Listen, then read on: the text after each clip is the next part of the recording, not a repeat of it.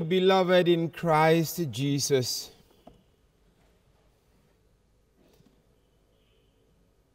as from yesternight, continuing through the next 50 days,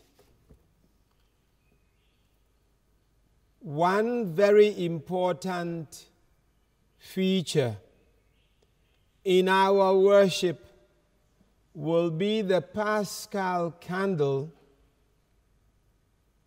and another feature in our worship will be the singing of Alleluia, which for the last 50 days, you may say, we have not been singing. Hallelujah. The word hallelujah actually is not in itself a meaningful word, but an expression of joyful surprise. An expression of joyful surprise.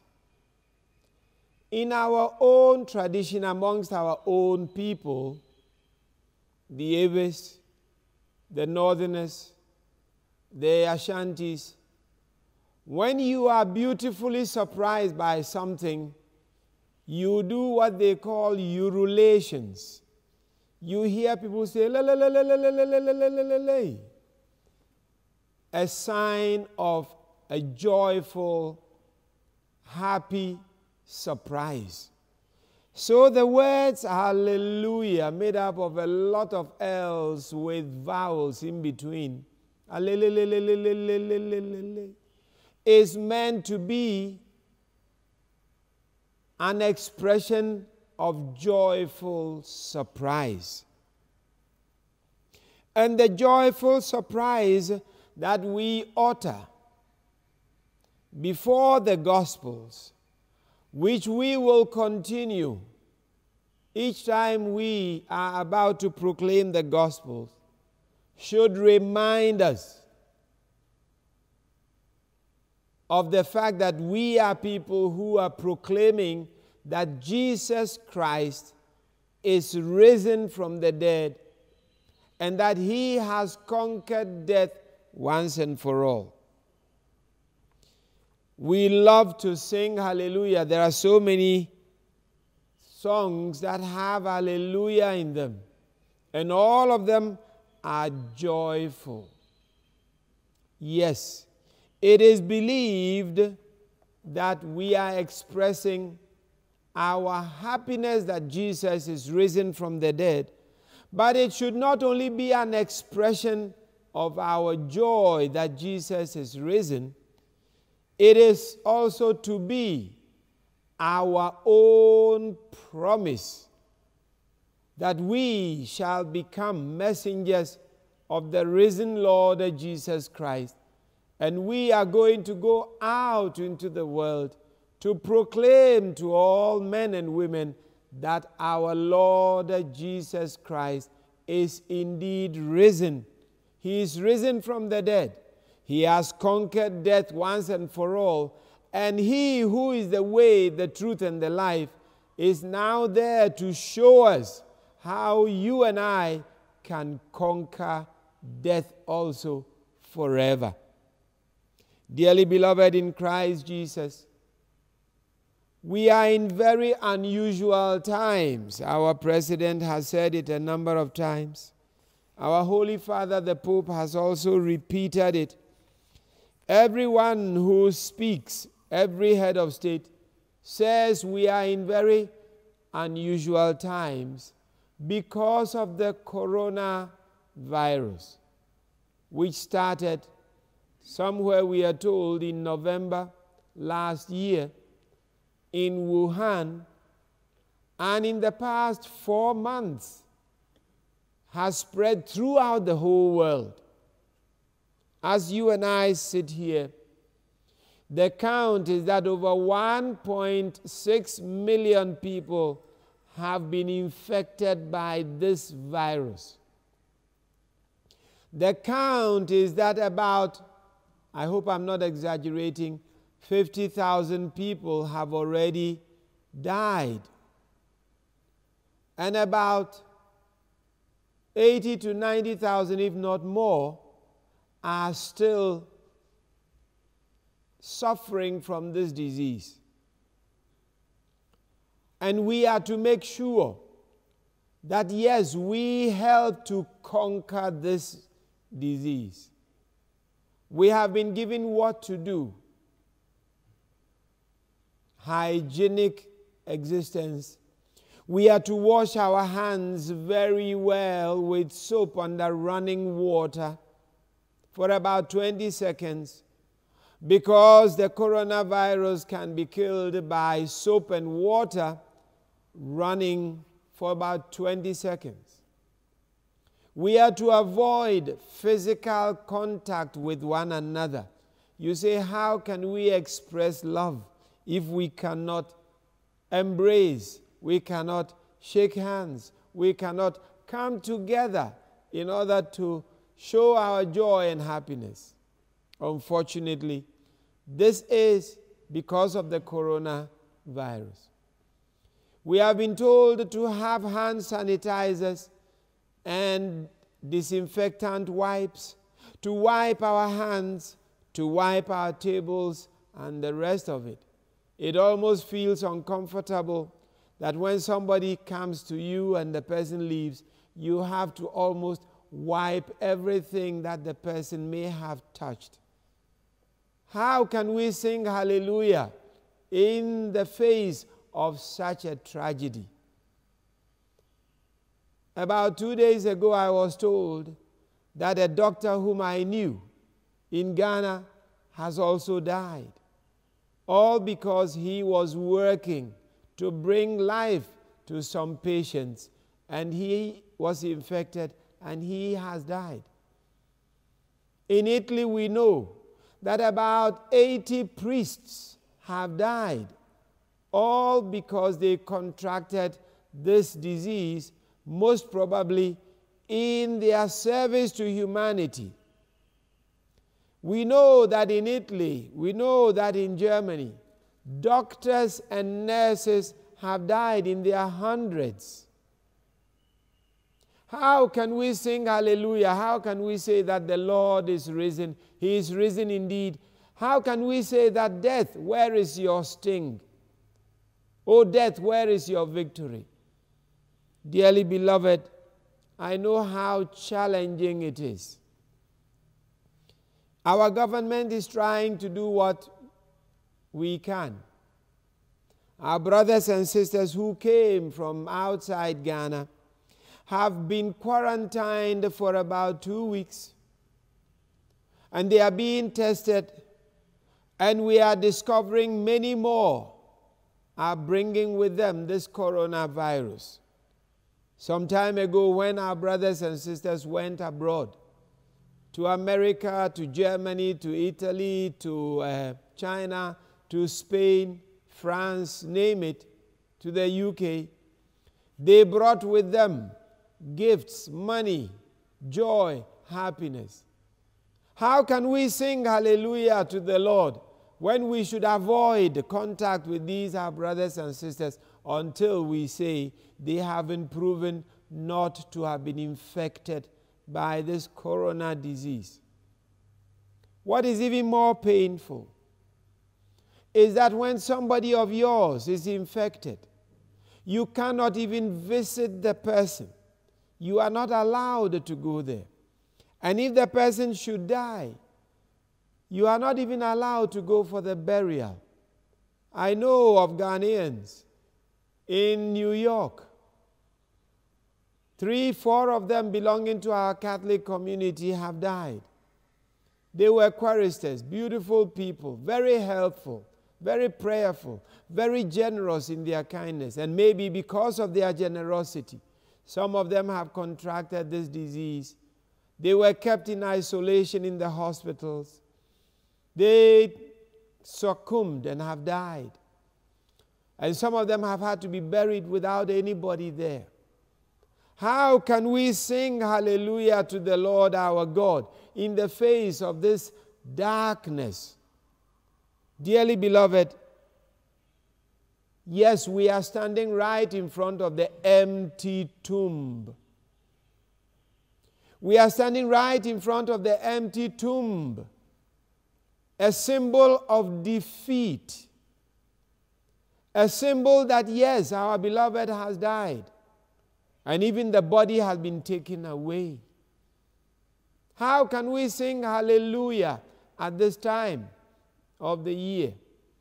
And I know that this time will go down as the most painful time when Christians all over the world I expected to say, The Lord is risen. He is risen indeed, but in their homes because they cannot come out to share that joy.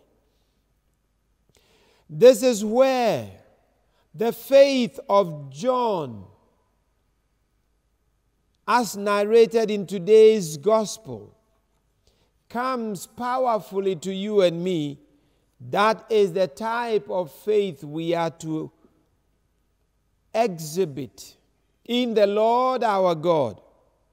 We are told that on the first day of the week, Mary Magdalene came to the tomb early. Why did she go there so early? Because of love. She loved Jesus Christ. Yes, he is, was dead, but she loved him so much, she was going there to weep at the tomb and to embalm the body as a symbol of her love, expression of her love for Jesus Christ. And we are told that she came to the tomb and saw that the stone had been rolled away. So she ran and went to Simon Peter and the other disciple, the one whom Jesus loved, and said, They have taken the Lord out of the tomb, and we do not know where they have laid him. This woman's love for the body of Christ was that she wanted, Give me the body. And we are told, if you remember very well, in one of the Gospels, as she stood there weeping at the empty tomb, Jesus came by and she thought that was the gardener. And she asked him, If you have taken the body away, please show me where you have laid it so that I may go and take it up. That is how Mary of Magdala expressed her love for Jesus Christ in front of the empty tomb. We are told Simon Peter and John, the beloved, ran together, but yes, the younger one, with greater love in his heart, he ran to the tomb ahead of Peter, the old man. And he reached there. He did not enter the empty tomb. Why? I don't know. Simon Peter arrived, and we are told he immediately went in. And the scripture tells you and me he saw the linen cloths lying, and the napkin which had been over the head of Jesus, not lying with the linen cloth, but folded in a place by itself. Strange. The linen cloths of Jesus.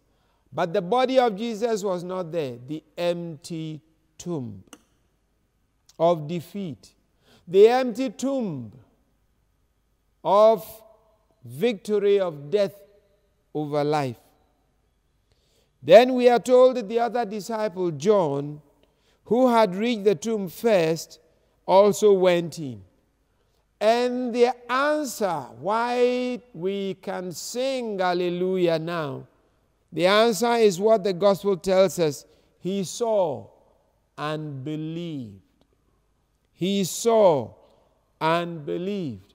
For as yet they did not know the scripture that Jesus must rise from the dead. Hallelujah. Hallelujah. Hallelujah. He is risen. He is risen indeed.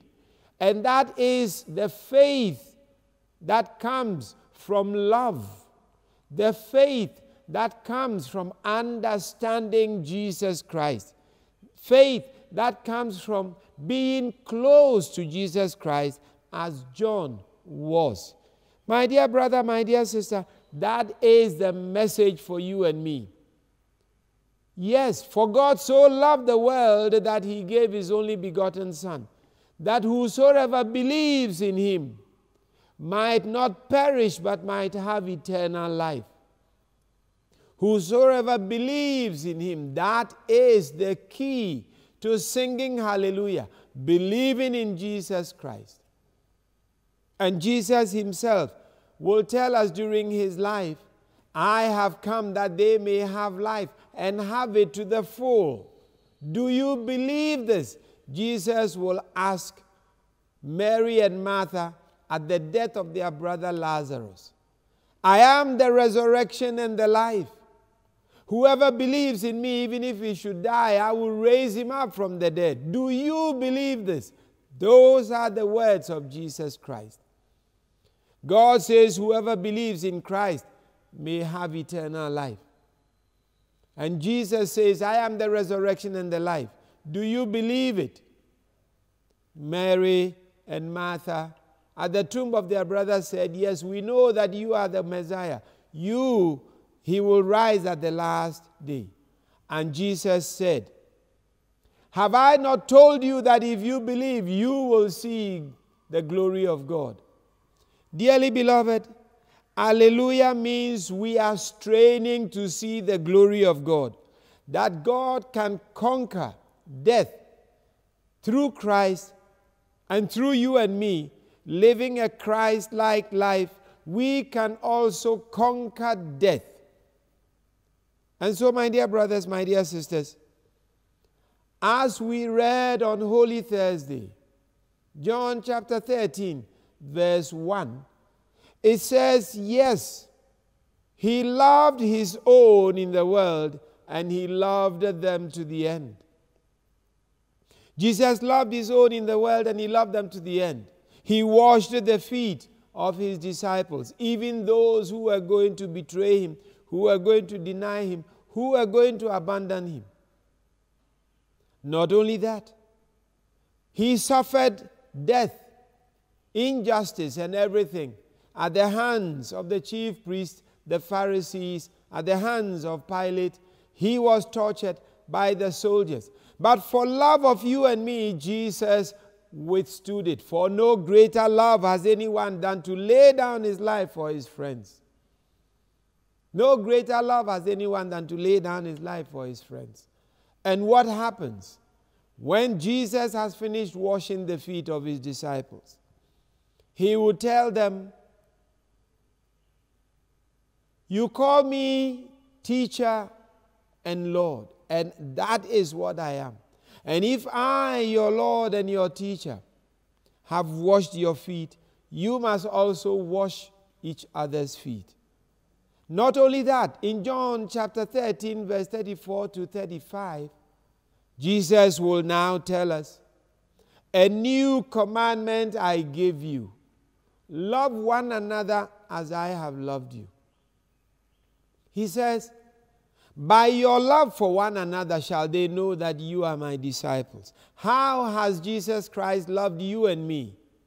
By dying for you and me on the cross giving you and me an example of love,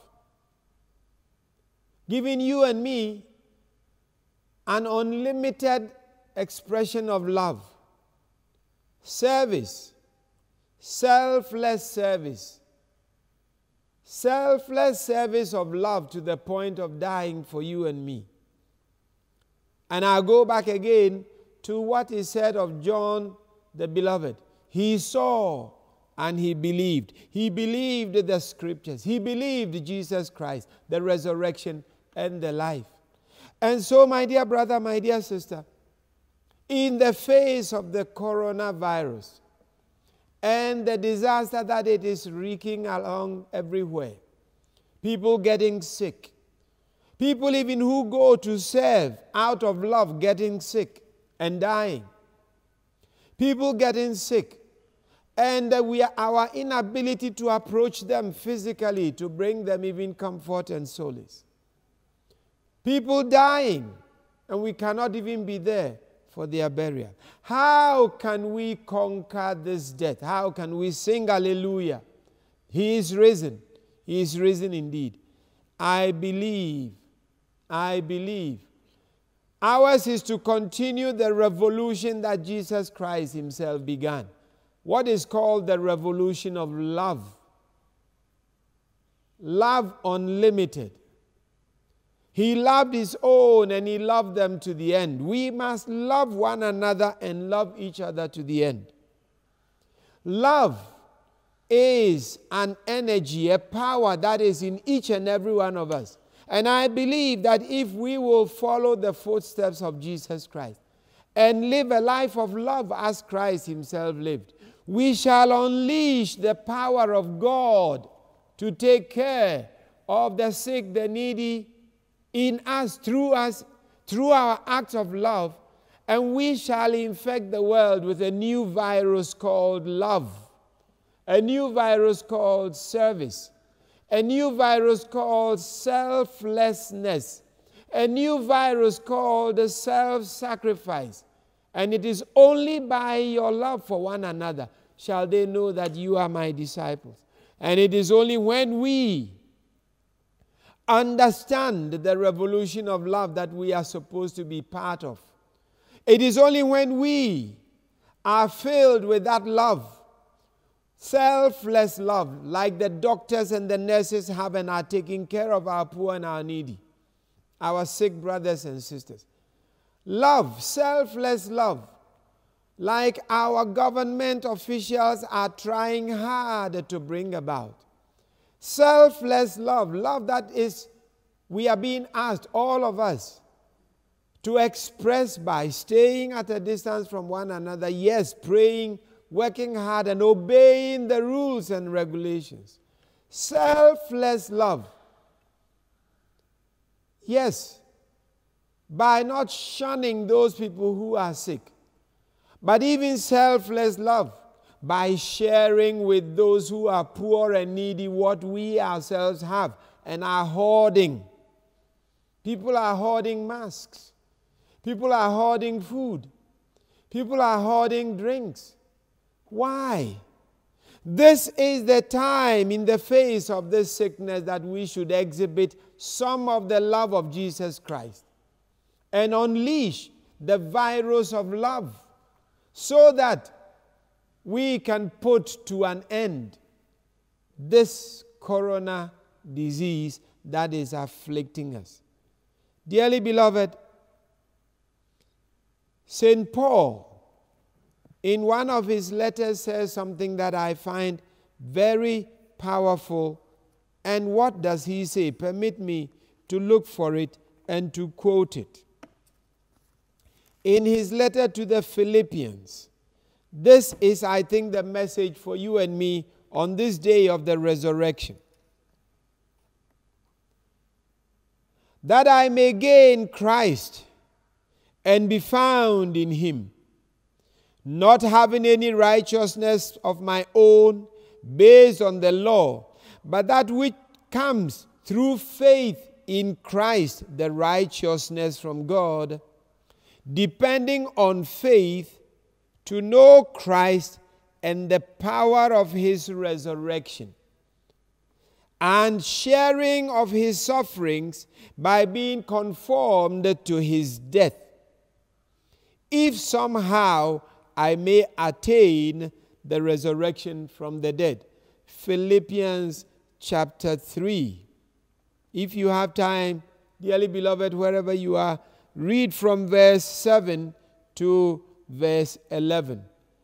But the powerful one is verse 9 and 10.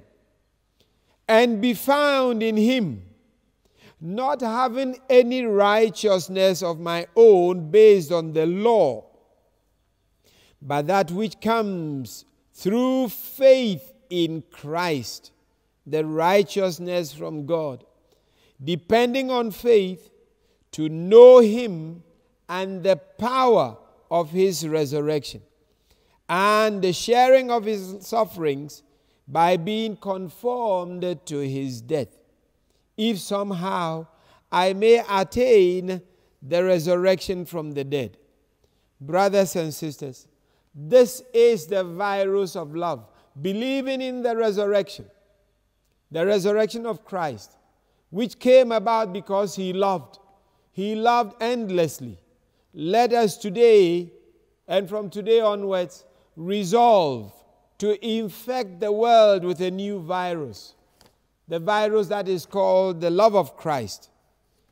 Yes, if even we have to suffer, as he says, let us bear it with Christ like serenity. Let us serve one another as Christ served us by washing our feet. Let us forgive as Jesus Christ has forgiven us. And let us unleash this love in our homes, in our families, in our places of work, in our villages, in our cities, in our country, Ghana, loving like Christ has loved us, on the continent of Africa and all over the world. Then and only then can we continue to sing, Hallelujah, Hallelujah, Hallelujah, for Christ is indeed risen. We shall not sing it only with our lips and with our hearts, but we shall sing it by our way of life. For he loved us. He loved us to the end. He wants us to love the world with his love selfless love, love that is ready to suffer, self sacrificing love. This is the only virus that I believe with which we can conquer the corona disease. I wish you, my dearly beloved, wherever you are, a happy Easter. Join Christ in this revolution of love and let us infect the world with the virus of love. And may Almighty God bless us in the name of the Father and of the Son and of the Holy Spirit. Amen.